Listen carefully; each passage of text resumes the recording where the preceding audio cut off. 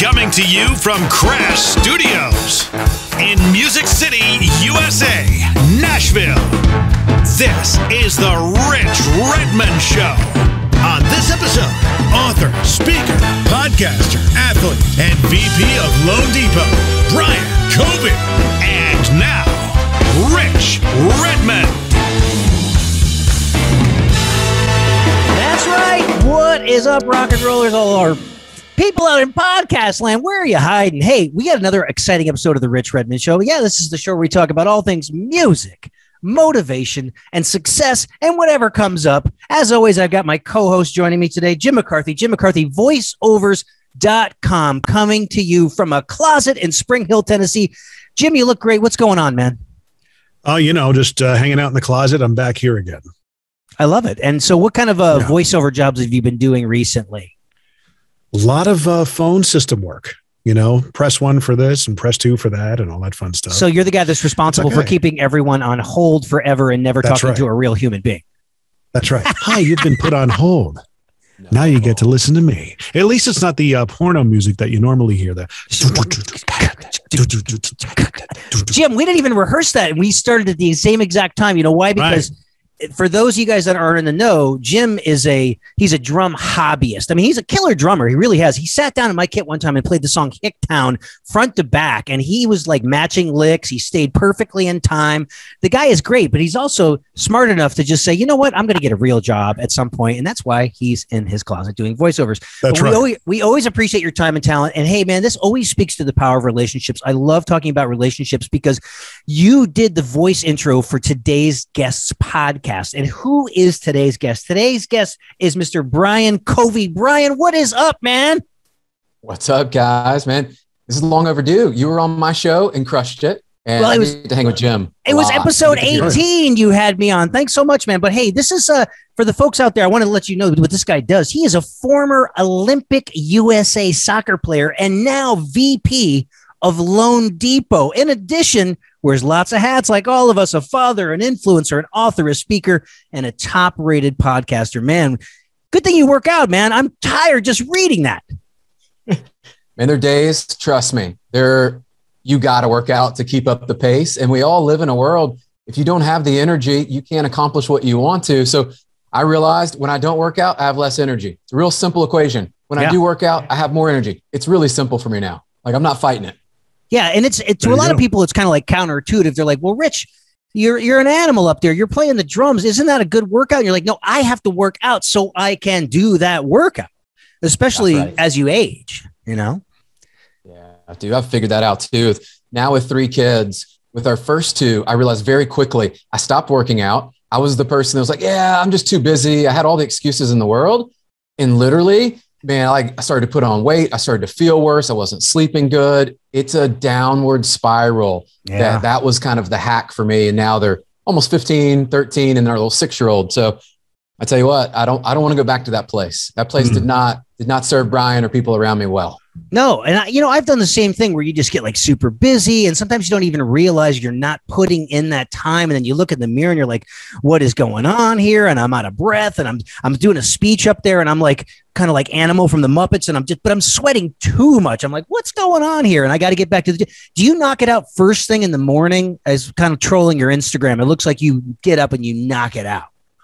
That's my jam. Yeah, we've got a. If I go to Iron Tribe, that's usually the six a.m. class. Oh, nice. I love that. It gets it done. I can get back by seven, help the kids get off to school, do all that fun stuff. yeah. And for me, I've realized like putting it in the morning, it's just it's more likely to happen. If I wait in the day, eh, probability goes down. It probably I'm I'm pretty disciplined and committed, but the probability goes down. And so I don't like so to play those odds. Yeah, you're so right. You know, I was I was looking at this um, thing. It says, you know, these have these little kind of like fun meme type videos on Facebook, and one of them was the insane schedule that is Mark Wahlberg. Right. So people look at these Mhm. Hollywood movie stars and they're like, oh, they got it easy. There is a price to pay for that kind of fame and to be in that kind of shape. The guy's alarm goes off at two thirty in the morning. He goes, he does a his first workout, post meal workout, then he does business, wakes up, does does the thing with the family, gets them off to school. Then he's like learning his scripts or doing whatever. Workout two, post meal workout, uh, post post workout meal. Then afternoon, more time to work on his business, memorize scripts, do the whole thing. Time with the family, and then imagine what time he's going to bed to get up at two thirty in the morning. That is insane. Yeah, I- I'm Yeah. wondering, was that supposed to be a uh, like a, a spoof or something? Because I remember seeing that, and it, it seemed like it had a spoof to it. I know. I Like I, I, I, really think he's doing that. I mean, how do these guys? I mean, if you're walking around like ten months out of the year with like an eight pack, that is from the sweat of your brow. I mean, you can't mail things and be like, you know, today I'm going to have some honey wheat bread. Um, yeah, yeah, you know, this guy doesn't eat toast. Yeah, he might though. I'll tell you, these guys that post that, I'm I'm not a subscriber to that 2:30 a.m. When I saw that, Jim, I think it was like what you're saying.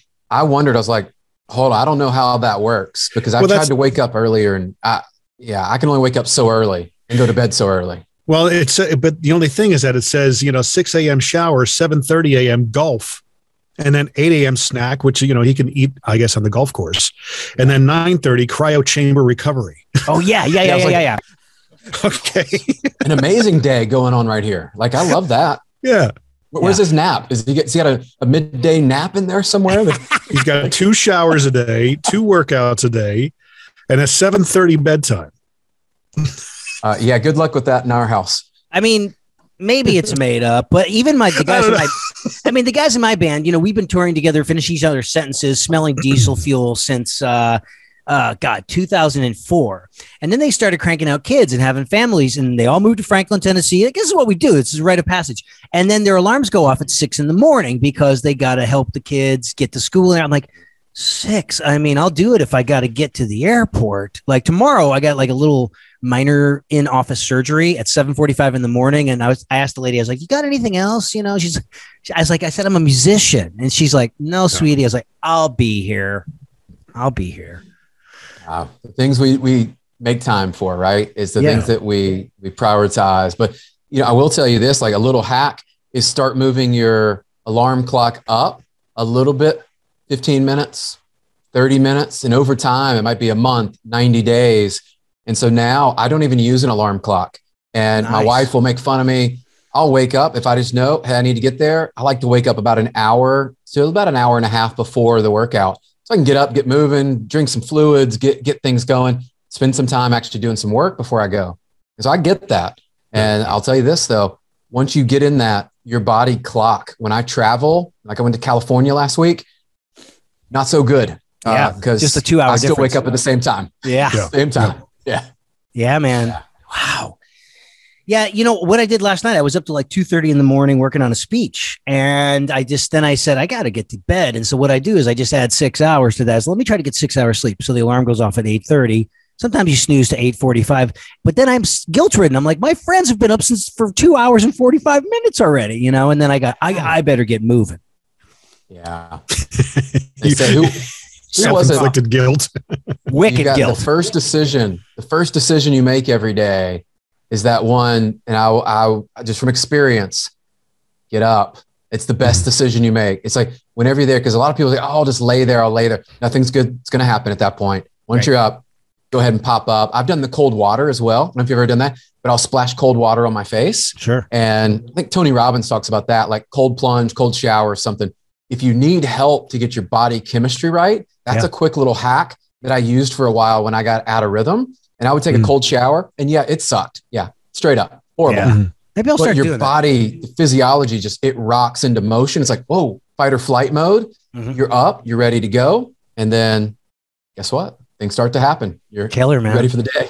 Well, there's so much to talk about. We can either start with the now or we can go back in time. You know, the typical podcaster says, take me back to Memphis, right? You're from Memphis. You, I mean, you slap the bass. You're like a world class soccer player. Now you're in the mortgage business and the real estate business. Yeah, I guess take us back. We're, you know, it's a dealer's choice. Take. Tell us a little bit about your background. Dealer's choice. I mean, is it not obvious how connected all of those things are? Like bass, soccer, Soccer. Mortgages. Memphis, uh, Mortgages. mortgages, dad, Franklin, Tennessee. I mean, Motivator. Motivate, yeah, podcast, uh, decided to write a book. Yeah. So, what I would say, if you take all of that, like everyone that's listening, I've just tried to live life. You know, I don't, I don't think about holding back. I don't want to live a life of any regrets. Nice. And that was, I think, was planted in me. Both my parents worked, and I would go after school and I would be in the after school care and I would play sports. My older brother was five years older. And so, what do you do as the younger brother? You try to compete with the older guys, get your butt kicked, but you realize, you know what? This sports thing, this, this might be like a way for me to have fun, get out of doing what I normally do, get out of schoolwork, which was always awesome. Yeah. And I found a little bit of success with soccer. So, yes, it went on, and coaches, mentors, and people, I learned the art of discipline. I learned how to be committed. But what I say out of all that is like, dude, I learned like hard work actually pays off. So, yeah. a lot of people today, I'm gonna call it what it is, they're soft. They don't want to put the hard work in because maybe in their life they never worked hard enough to see the other end of it because they quit too early. And and I've been that person where I quit too early and I go back to my soccer days of I love competition. I love that part. And I think I got wired very uniquely as I ran into Rich. If you'll remember back in the day in Memphis, I don't know if you remember this. I remember the store was like Music Center or something downtown. Mm, yeah. I go in, I see this guy playing the bass. Dude, he just sounds amazing. Uh, his name is Neil Bowen, by the way. I don't know if you know Neil. Amazing bass player. I look at my mom. We happen to be there. I'm like, Mom, I need to get a bass and an amp like today. Teach me the bass. So that's how I fell into bass and nice. loved music. Probably helped me um, scale back my competition and some of the things that were there and create friends and like have that creative side. And, and I think that together is what made me kind of start to develop who I am today, where I have this like creative side where I want to write a book, I want to do a podcast, I want to be into music. And then you factor that in with an athlete. And so I'm very uniquely, um, I think, equipped sometimes to go, dude, I'm just going to go try this because the creative side and then the competitive side, you yeah. put them together. And I failed at a lot of stuff. A lot of stuff has not worked out or gone my way. But, dude, I, I, I think I have that early mindset from my parents and just learning this too. It was a, it was a gift. And um, so that's, that's kind of the backbone of, of yeah. how I learned it. So yeah. shout out to the 901. Memphis was good to me. Absolutely, man. You know, yeah, that competitive spirit of of uh, athleticism. I, I missed out on it. Um, you know, I made up for it later in life. I discovered like you know, running and uh, cross training. I tried Barry's Boot Camp. I do the Orange Theory, yeah. and then now they got these cool apps. I'm using this one now called FitOn, and there's a stretching exercise. There's a HIIT exercise. There's a um, all the stuff, you know, and, and it's free, but then they want to they want to upsell you for a certain dollar amount a month. I'm like, nah, I'm not, I'm not playing that game. But yeah, you learn about persistence and determination and the results of hard work, and also teamwork. And that's and that's something that's a commonality between music playing in a band is all about teamwork. Playing on a a, a sports playing sports ball is all about uh, teamwork. And uh, we can take those things in, into into the real world for the rest of our life. You know like school of rock you know i don't know if your if your kids are interested in playing music but something like school of rock you know the kids they might not go on to play bass professionally, but the main thing they're learning is how to get in a room and coexist with other people and have a common goal and get across the finish line and be able to take direction. And those are things that they can take into whatever career set they're going to go into. I love that. I remember jam sessions and things that we would just show up on the weekends and some of us that were still learning the the art of playing music and playing together and you just show up and you would just jam right and it's like that type of skills you can't learn that in in the office or in business or in school anywhere. And i love what you said there rich because i think about that today is you know even our team at loanDepot we've got people in marketing compliance finance processing underwriting sales. You know what? We all need to figure out how we get on the same sheet of music. And i say that all the time. Is like how do we get on the same sheet? Because if you're playing over here in the wrong key you got the wrong tempo and i'm over here guess what? It ain't gonna sound good Ain't gonna feel good. Nobody's gonna get it. So uh, yeah. I love that too, from the foundational aspect of if you can build relationships. You probably know this in music. There's a lot of different personalities that if you can start to get along with people, start to build trust, it's it's something that I think we can all learn from that. And so I'm always I'm a student of the game, whatever game that might be. I'm just a constant yeah. learner. Well, you know, and that's kind of like the background, the backbone of your speaking events is that growth mindset and being a team player and constantly learning.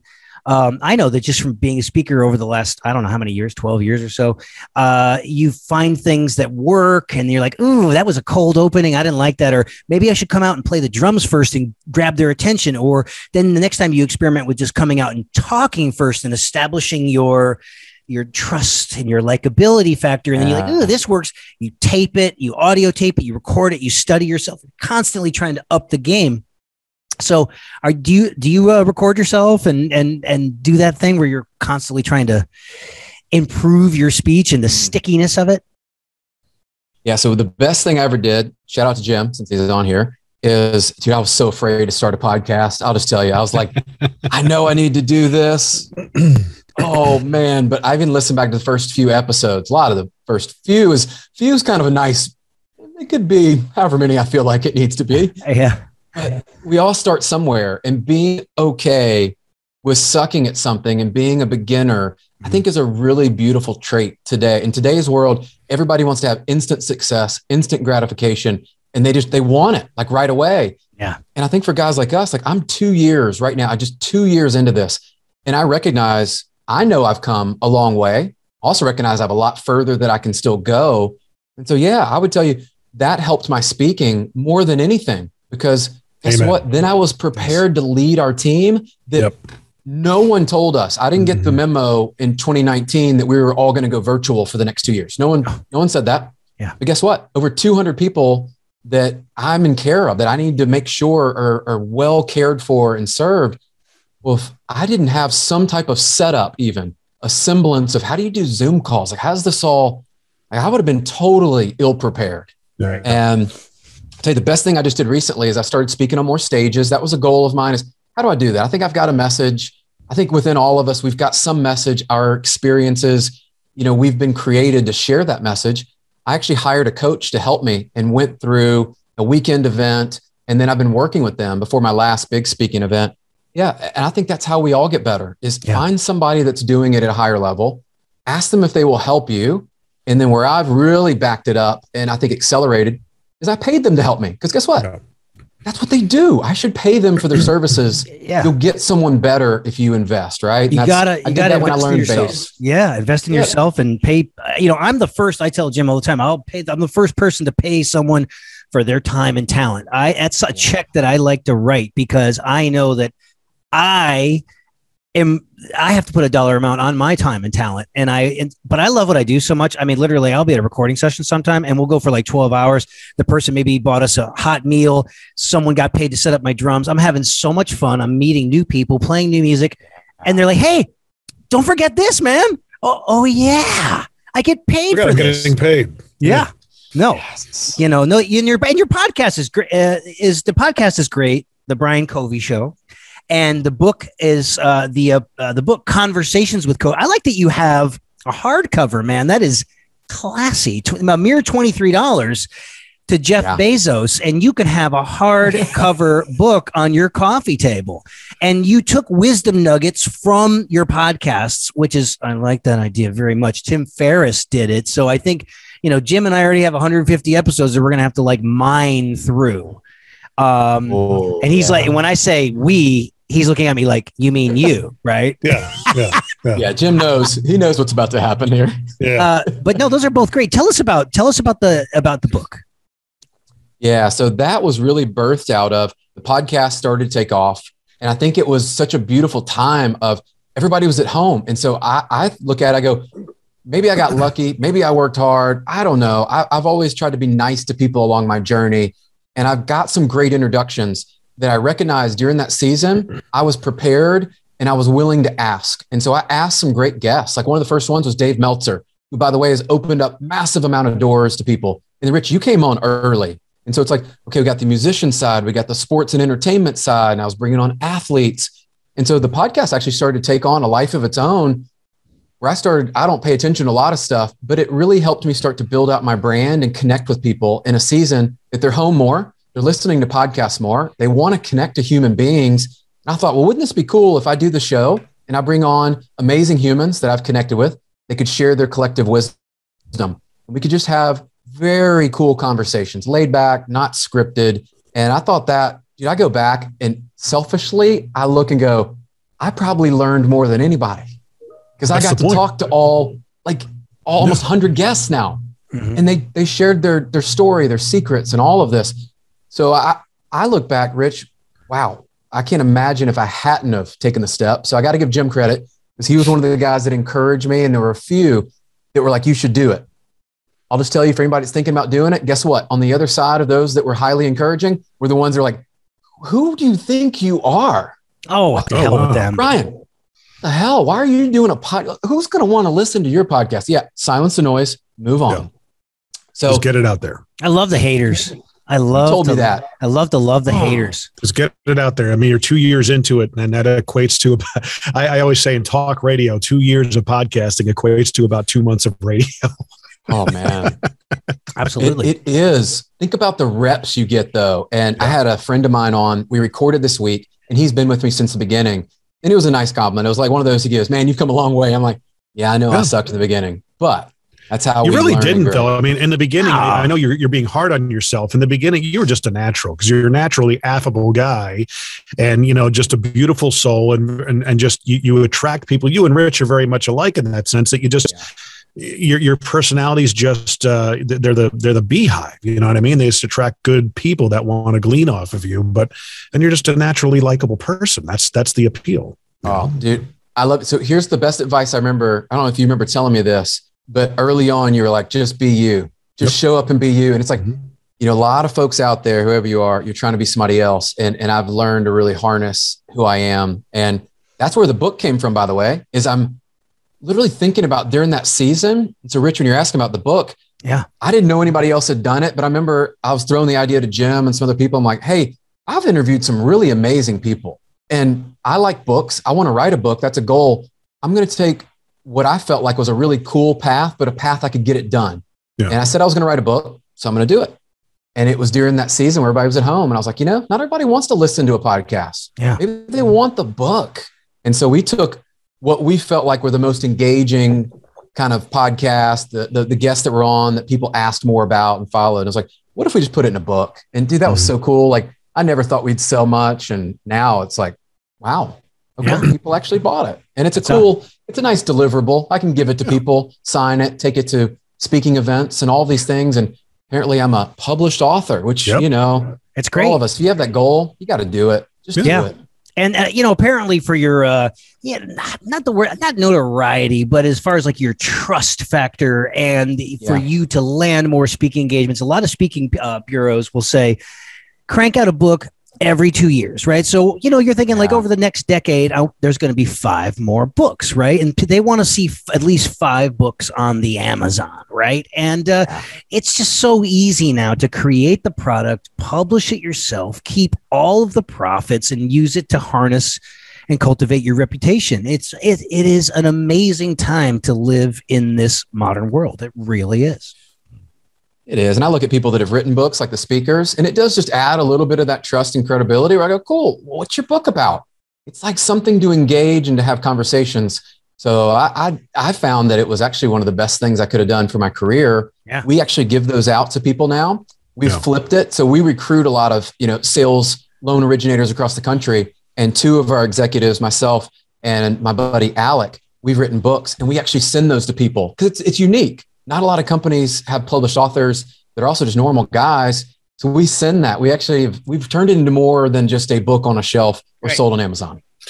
And it's funny because um, a lot of the, th- the same things I when I had Brad Lee on my podcast a couple of months back, uh, you're talking about in the initially we went into it with the recruitment angle in mind for you. Uh, and Brad and I talked about it on on my podcast about culture creation and how he cha- he's challenged with he he's very uh, transparent when it comes to some of his challenges, which I can appreciate about him. And he always admits he says, "I don't know how to build a culture." I'm like, you know, we all know you're building one one way or another, good, bad, or indifferent. Um, right. I said, and he said, he told me about a story about a woman who reached out to him and said, I don't care what it takes. I just want to come work for you. I just love what you do and your style. And I said, well, there you go. I said, do more of what you're doing. You're going to attract people naturally that are similar to you because of how you are. You're just being the real person. Similar in this situation, you're going to attract the people. You know, that's the right people.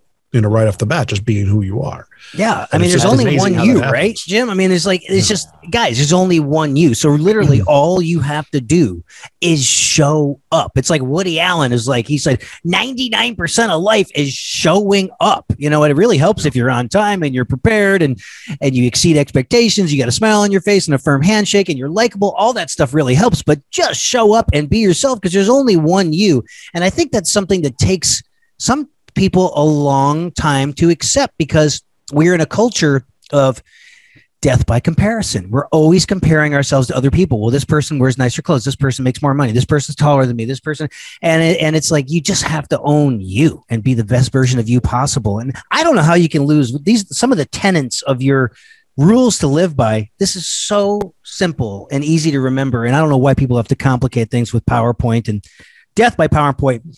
Be kind to others.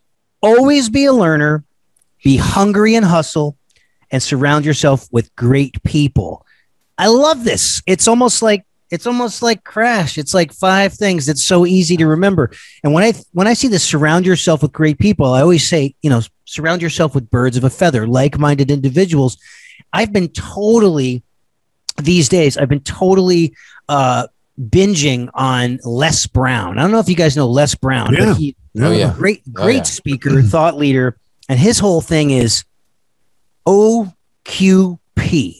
Only quality people, and he's got yeah. he's got a delivery style that I, I can I love it. It's almost like a southern preacher, I wish I had more of that, but it's like only quality people. I, I mean, I wish I had that style. What man. were you saying about death by comparison, Rich? yeah, I yeah. know. I'm, I'm walking around trying to do my Les Brown impersonation, but um, so simple, so easy to remember, but it's like, why do we need to complicate things?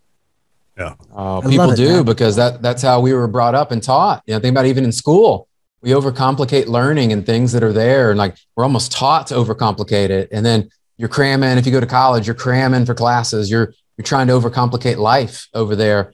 And I heard Les speak last year. And I will just tell you, when he came out, this is this is how we're trained. So this will kind of just frame up what you're sharing he said, practice makes profit. What would you say? People mostly perfect. perfect. Yeah. That's what everyone says. That's yeah. not true. Practice makes progress. Ah, yeah. So think about we've been wired. Yeah. We've we've heard these BS statements. We've heard things like what you were saying a minute ago, Rich. And I'll respectfully tell you that is something I believed is 99% of the game was to show up. Let me just tell you, if you want to level up your life, that ain't the game. Um, the game is actually the preparation, showing up, and staying committed long after your feelings go away. Significantly different. I used to think I started in some of my career. I'm like, I'm just going to show up to this meeting.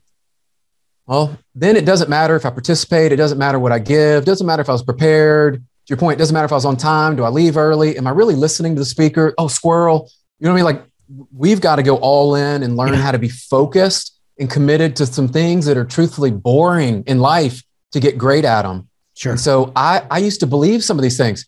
Practice makes perfect. No, it does not. Showing up's nine times to the battle. No, it's it's actually, and those are things I'm starting in my life to identify areas that I go, I believed this. Right. Like I lived under that. That is not true though. in my life, I know it. So this is where I'm starting to lean in on some of our social is I'm starting to share some of these things of I believed this when this happened, this is what I now believe as a result. Yeah. And I'll tell, dude, it's eye opening how much stuff I've allowed myself to believe. Sure. And I go, well, I learned it. Where did I learn it?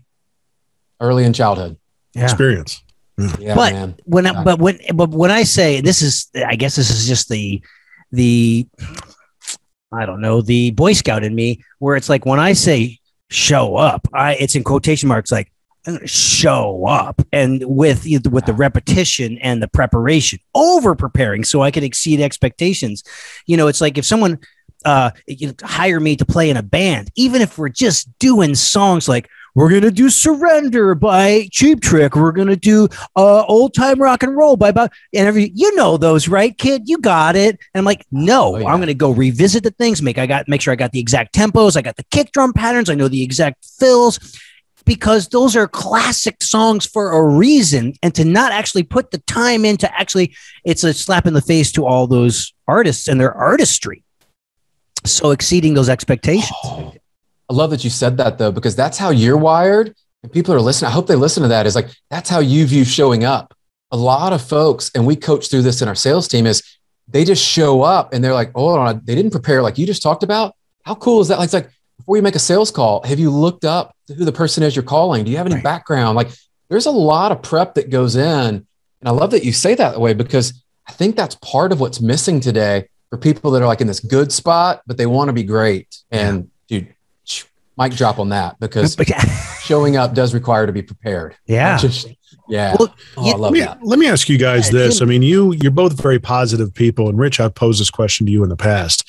You know, there are seasons in life. You know, life has got rhythms. Um, I'm I'm going through one right now. You're both uh, Brian and I. You've talked about. I've talked about it with you, Rich. You know about it. Uh, it's it's a trying season right now. It's been a year. I've been telling people. I say for the past two months, I felt like I've lived five years.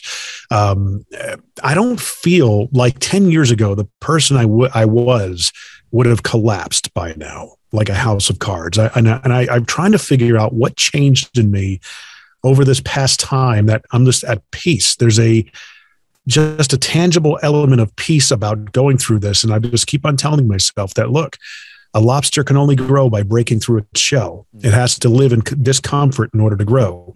Uh, people suffer in their own comfort. A great friend of mine said that to me this morning, and it's it's so true. I feel like I'm growing as an individual, but every now and then you get in those seasons you get some dark times mm. and you got to get up every now and then and it's like something i wish people would start addressing more in the influencer space on instagram and such to address not everything is sunshine and unicorns sometimes you're going to wake up and just go oh my gosh i just don't want to i yeah I, i'm you know trepidatious today you know what I mean? And how do you wrap your mind around? For me, it's been a gratitude of sorts. You know, because it's been it's been a rough past two months for me. Well, so. Uh, first of all, Jim, I love lobster. Okay, so you're making me hungry. And then tomorrow, uh, to help you through this season, I am taking Jim to Bricktops, and we're gonna. He gets to order whatever he wants on the menu. He can order a freaking lobster. We can have midday martinis. We might need to call Uber. no, we're not splitting the bill. This is on me, buddy, because of what the value you bring to the Rich Redmond Show and the fact that I love you so much as a friend. We're, you're going to get through this, buddy. And I think, uh, you know, I'm really um, being rude right now because uh, our guest should be answering this, right? But I think that what has made you so, first of all, you're a man of extreme faith, which is very helpful. Yeah. But at the same time, the last 10 years, you have been an extreme entrepreneur. Entrepreneur. Mm-hmm. And it, the fact that is you have to have massively thick skin to do that and to provide for a family in that way, as opposed to just showing up to the office, going to the water cooler, pouring a bad cup of coffee and doing that thing, you know, you're you're a very strong and resilient man because you're an entrepreneur. I think. Mm. I can see that. What yeah, do you think? That's true. Like, I think from the first time I met you, you have this like quiet confidence about who you are, and I think, I mean, I believe this. Like with my faith and everything it's here, we've been preparing for seasons, and they're not always seasons that are going to feel good even go back in the Bible and like you look back, like there were not always seasons that Jesus went through and, and everything was hunky dory. We were talking about this morning in a uh, all pro dads meeting, right? We were talking about how Jesus was actually crying and weeping and bleeding because he had fear, he had concerns, he was feeling pain. You're going, hold on, this is like the savior. Like yeah. h- how did how did he feel that? And I think you almost in ways you go through these seasons to remind you, like you said, gratitude, the word you said there is like okay, we're kind of out of alignment. We're out of rhythm over here. How do we move back to this? And I, I've always believed this, it's become true lately, is God never gives you more than you can handle. And I'd heard that growing up, and I'm like, well, until you get fired from your job or you lose somebody to cancer, you have a family member that dies, you have something that happens, you're like, that you don't know. And your story, I think what'll come out of this, this is just my belief and my spirit says that there'll be something out of your story that's going to be able to help a lot of other people.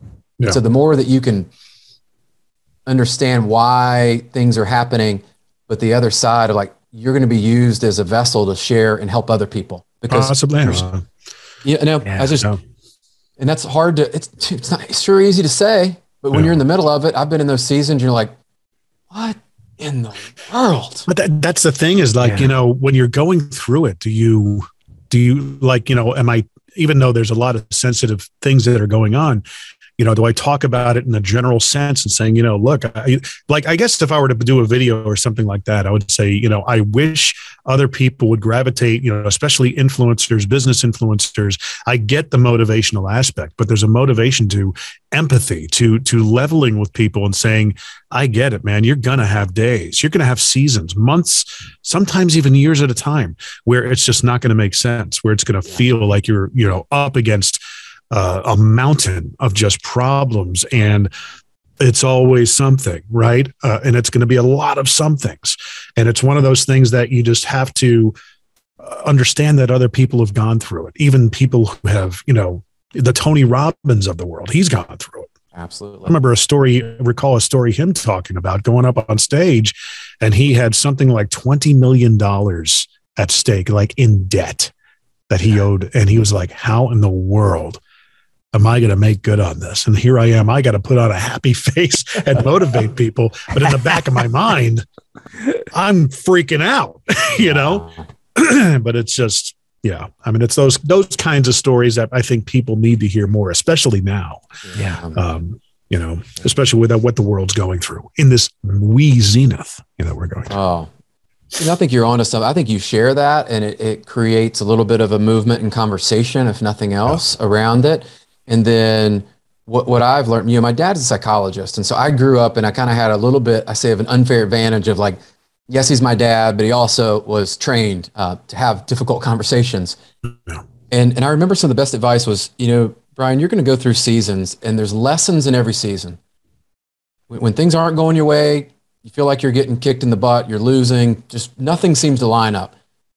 Can you find the lesson in there and can you be grateful? Because if you can, when things are going your way, you're probably going to be more giving and you're going to be uh, a bigger impact than you would have been to where I know a lot of people when, when things aren't going their way and they start to win, it's all about them. And it's like, I'm going to go buy material things. I'm going to do this for me. And like, I'm going to celebrate me. And it's like, no, no, no. You're being blessed so you can bless other people in those seasons. So I hope conversations start around this because I'm, I'm with you. I've been in seasons where it's like depression and things and being, you know, not the person I wanted to be and looking in the mirror and going, who's this guy? Yeah. yeah. I could be better. Yeah. And then how do you, how do you work your way out?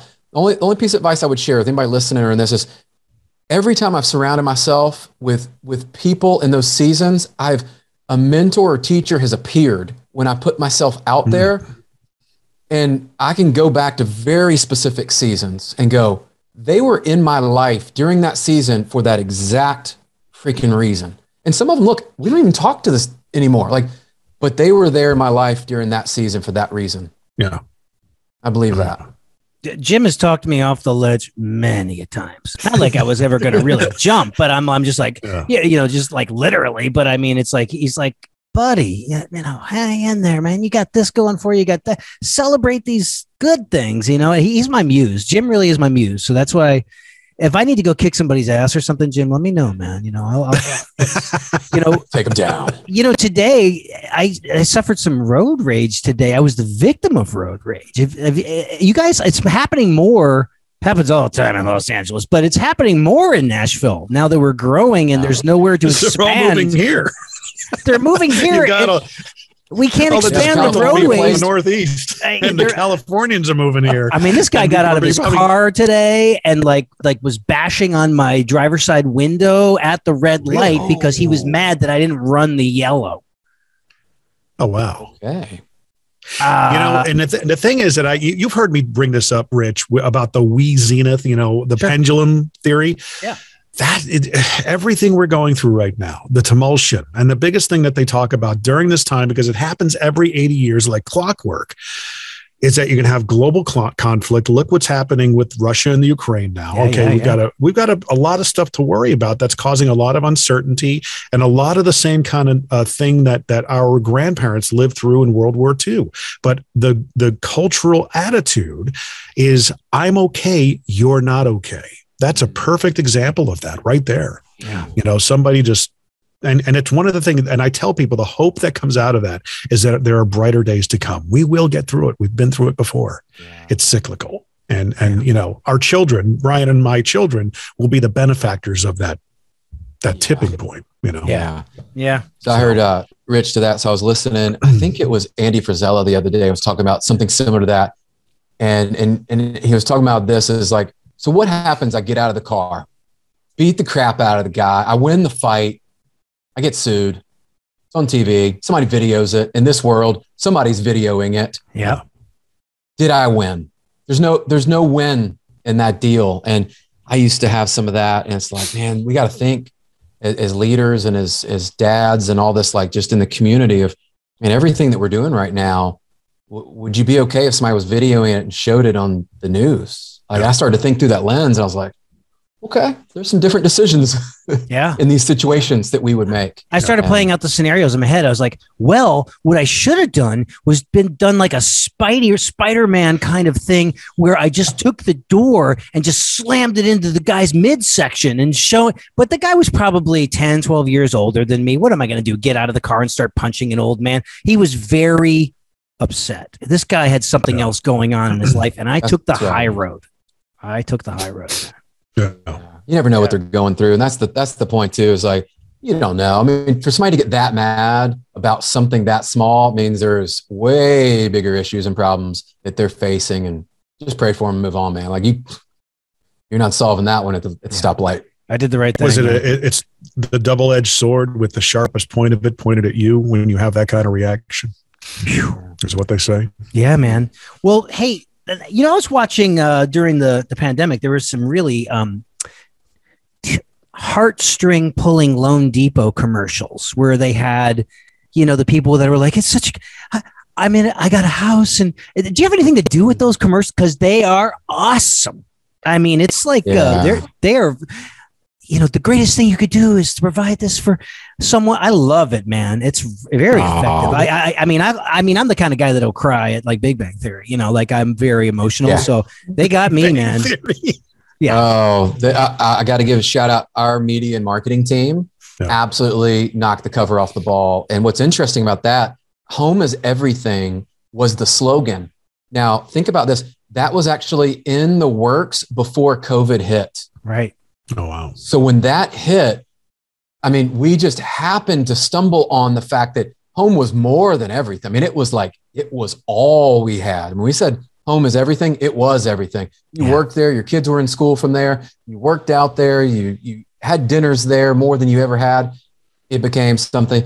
And then we decided, you know what, we're going to feature real customers that we've actually helped. And so that's why the stories probably touched you is that yeah. these were real first time home buyers or families coming together to live with their grandparents or parents and families coming that, that could never afford to live in a home. They needed somewhere to go. And so they really did have emotional attachment and that's why they probably cut through the noise more than any of our others. And that's our culture. Yeah. like we, we're able to serve people in a time that we can educate them and help them buy a piece of the American dream. So yes. we should be very excited about that. And we should share the stories to inspire others. And that's, that's still why I'm in the business 20 years later is there stories like that. You go, how cool is that? Like yeah. we got to help them get their first house. Here's a know? product idea. How about a bunch of rocks?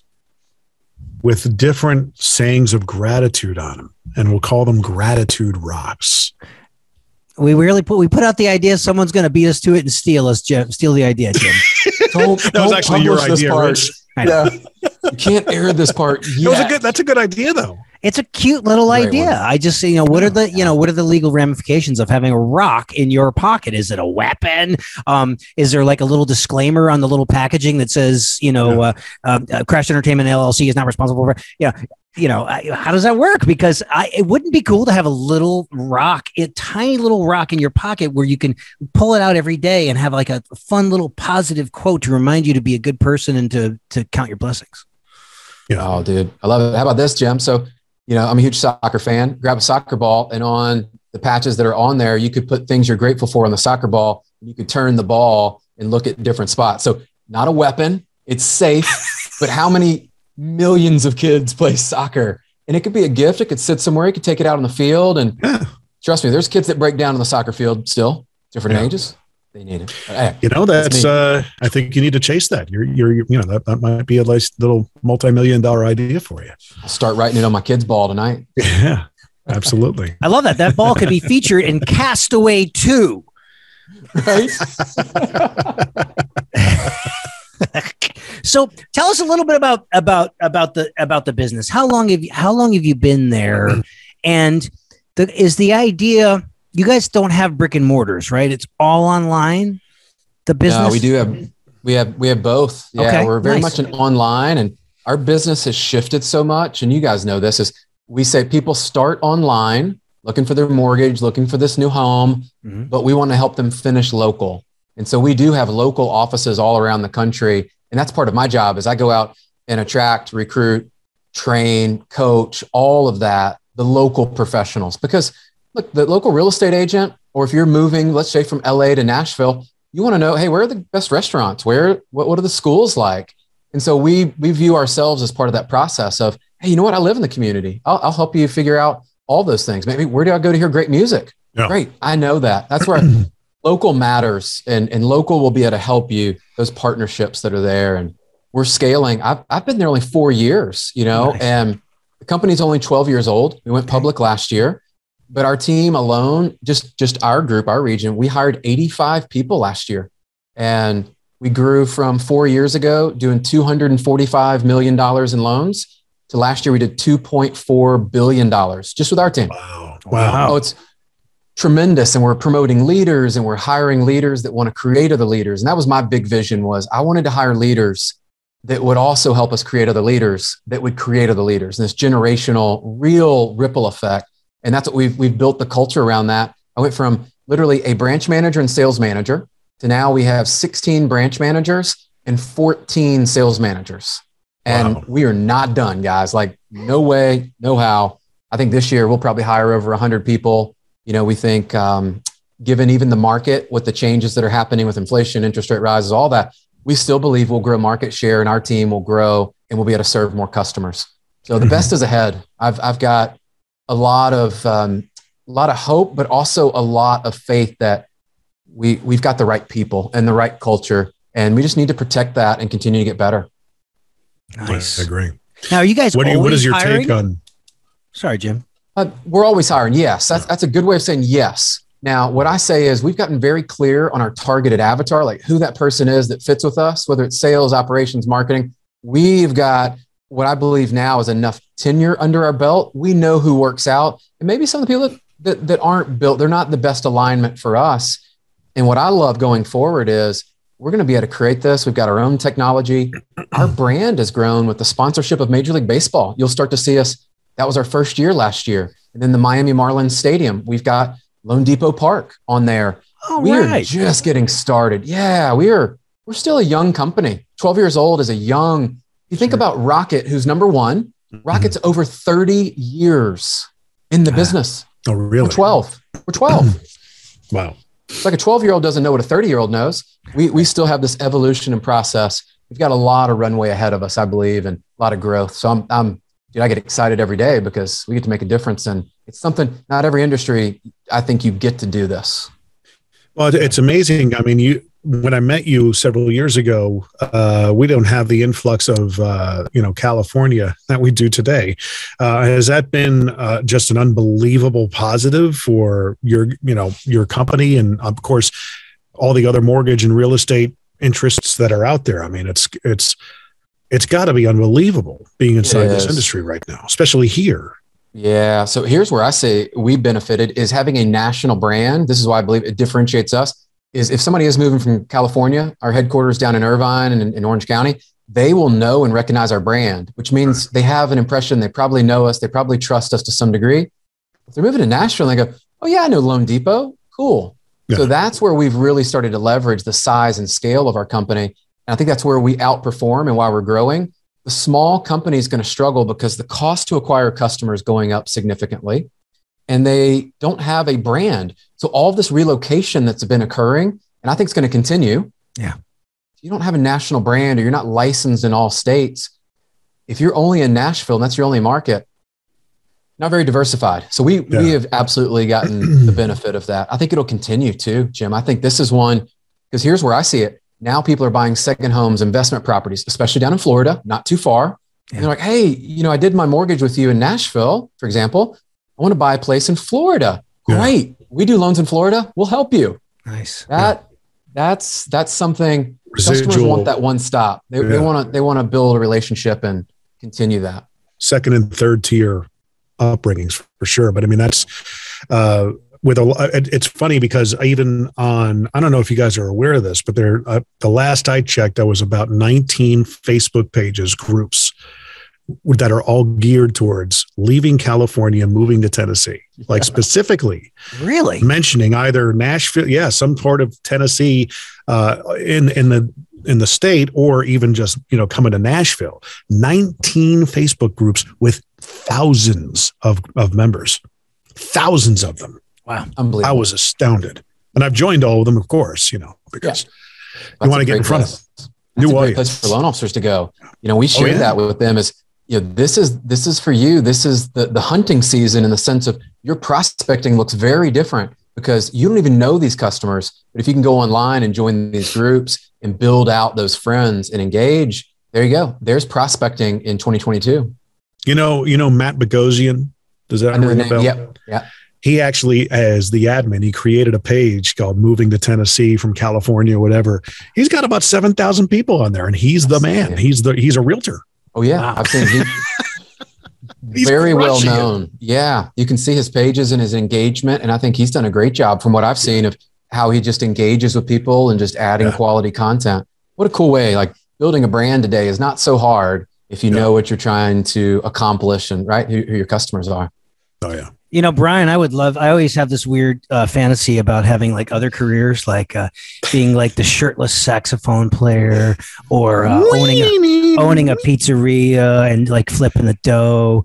And then, yeah. like, I love the idea of, of of helping to find the perfect home for a family and being the guy that would because I'm a natural salesperson, like showing these people this house, and right there you could put your recording studio, and then right in this right there, look, there's a pizzeria up the street in the great school district. But the, the paperwork, man, that is like that keeps me out of the game.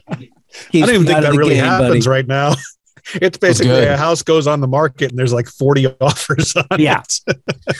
yeah. Even before it goes on the market, it's like all, all the, the insider trading, I call it. It's like hold on, I didn't even know that was for for sale. Like, oh yeah, I mentioned it.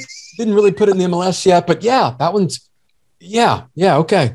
That's yeah, yeah, yeah. yeah. Well, man, you're a likable guy. I would love to do business with you, man. Are you a um? You come from a Hardy stock, man, like a good guy. And uh, so you still have? Do you still have your folks? You still have your folks? I do. Both my parents are still in Memphis, and my right. brother. Yeah, wild to think they're late seventies now. I was talking to my mom and dad this weekend. I was like, mine too. Wow, yeah, it's just wild. You know, very blessed because you see that happen and changes. And um, actually, hopefully, going back to Memphis here in a month or two, which yeah. we've got a branch there. like, you know what? I always love going back. Great food, great people. I still got a lot of a lot of family and friends. Where's your uh, Where's your favorite barbecue spot there in uh, in Memphis? Ooh, I'm a rendezvous guy. I just do the environment, everything there. I, am not going to say it's the best barbecue because I'm not going to go on rec because I'm I'm I've been to a couple of other spots. Um, we like Corky's here that's in Brentwood. Yeah. It's got that Memphis flavor to it, so we can get that here. But there was something about Rendezvous. We had like receptions there. We would have celebration when our sports team, like soccer, would win a championship. We would go to the Rendezvous, and just the waiters have been there for years, and then their sons or daughters, like they work there. It's just Rendezvous is like, dude, it, it's a staple. You, oh yeah, yeah, got to go there. I just drove past Corky's and you know what? I am hungry, man. As Les Brown says, I'm hungry. I am hungry. I mean, what a delivery that guy. What That's good. Yeah. That's good. Hey, yeah. who's a, a, a, dream guest to have on your podcast? Who you who you pining for? Oh, for me this year, it's definitely going to be Ed Mylett. I've got my yeah. eyes set. Yeah. Nice. Yeah, he is he's just made an impact on me and I'm part of Arete Syndicate. Yeah. I mean, that's like the vibes I get. One of my friends, Craig uh, Siegel, just had him on.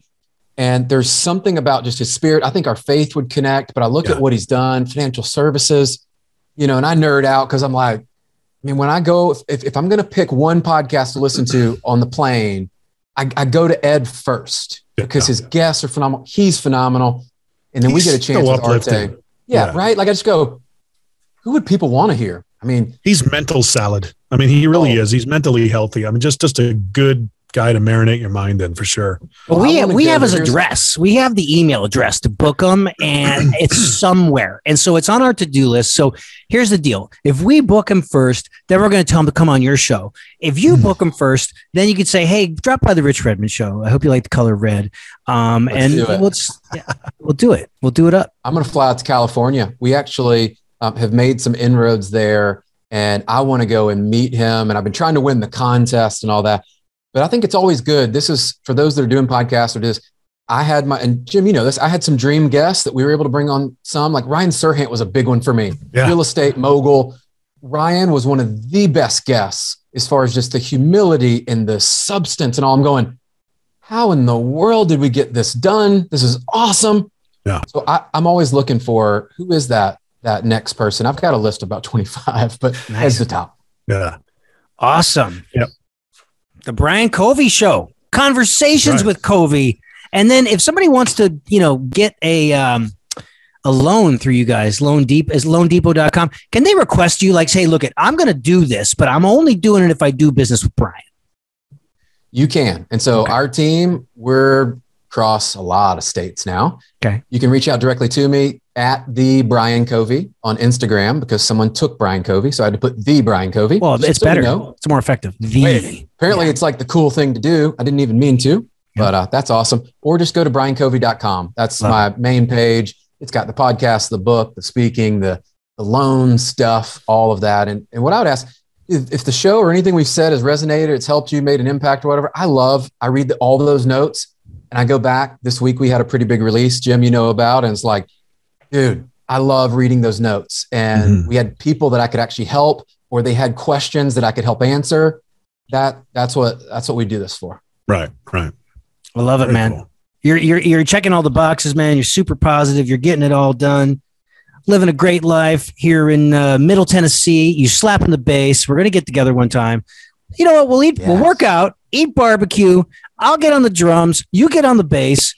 Uh, Jim will, I don't know, he'll sing a song or something. I mean, Jim, he's fearless, and we'll have I a great time. sing as long as it's, it's like you know Neil Diamond or something. I can sing. Oh yeah. yeah. Hey, we may jam again. We may have Judge hands. They're coming to America. Nuts! what a dude. what a nuts. He's so described like one of my perfect days. Now, if I was able then to get on the private plane and go to the beach with my family after that, that night, like that's like that's my day. Yeah. Oh yeah. It's coming, man. You're awesome. I was on a private plane the other day, man. And it was like, this is, I was like, how much is this thing? It was like, ah, you know, like 12 Seven million. grand an hour. It was like $12 million. And, um, and I, and I, it was like, you know, after the gig. And so I popped open like a, just kind of like highbrow IPA and, and it just, I don't know. I popped it open and it just everywhere, right? And so most normal people would get up and like like go hold it over the sink or like put it over the trash. And literally, I don't know, it was weird. It was I was tired after this. It just and it just bubbled over like that volcano project that the kids have at school, and it was just spilling all over my leg and everything. And the guys were just laughing at me. They're like, dude, you just sat there and watched the whole beer explode on your on your leg. And I was like, I don't know, man. I was so mesmerized. Had to be there. Um, Brian, thanks so much for doing this, man. I can't wait to to see you in the flesh at some point. Yeah, dude, we got to do that. That's that's on my short list this year. We've got to do that. You describe the day, whether it's barbecue, bass, workout, whatever. I love hey, it. Let's man. do it. I love it. Thank you so much. Absolutely. And Jim, thanks for your time and talent, man. Always great to see your smiling face. And to all the listeners out there, thank you guys so much for tuning in here. We really appreciate it. Be sure to subscribe, share the episodes, leave us a nice review, give us a five star rating. It really helps people find the show. And hey, if you want to send us some praise or some criticism, but more praise, the Rich Redmond Show at gmail.com. All right, guys. We'll see you next time. All right. Thanks, guys. Thanks, Brian. All right. This has been The Rich Redmond Show. Subscribe, rate, and follow along at richredmond.com forward slash podcasts.